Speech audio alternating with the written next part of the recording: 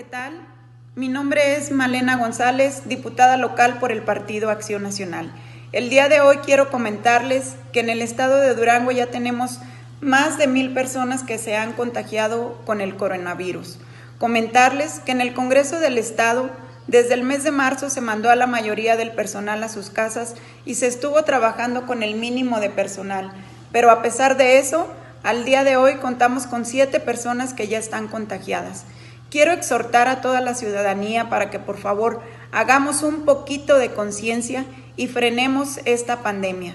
Decirles que si todos hacemos lo que nos toca, muy pronto vamos a salir de esto. Sabemos que muchas personas tienen la necesidad de salir a trabajar, que no pueden estar trabajando desde casa, pero sí invitarlos a todos a que por favor sigan las medidas que nos han estado recomendando de la Secretaría de Salud como viene siendo el uso del cubrebocas, respetar la sana distancia y también lavarse las manos continuamente.